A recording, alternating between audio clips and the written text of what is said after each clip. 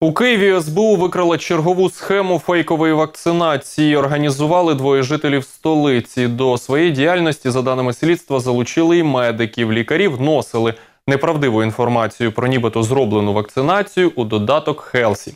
Після чого дані відображалися у додатку Дія, і клієнт отримував готовий сертифікат. Така послуга коштувала 3 тисячі гривень. Зловмисників затримали на гарячому. Разом з тим у МОЗ анонсували так звану амністію для людей, які купили сертифікати. Про це заявила заступниця міністра охорони здоров'я Марія Карчевич в ефірі українського телеканалу.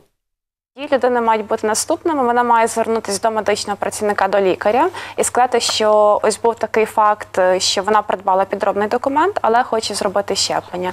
А дії лікаря мають бути наступні, що він інформує національну поліцію про те, що виявлено підробний документ. Людина має всіляко сприяти слідчим діям, щоб виявити тих шахраїв, які продають документи. І перед тим лікар може її, якщо показники здоров'я дозволяють, зробити е, відповідно щеплення і внести дані до системи.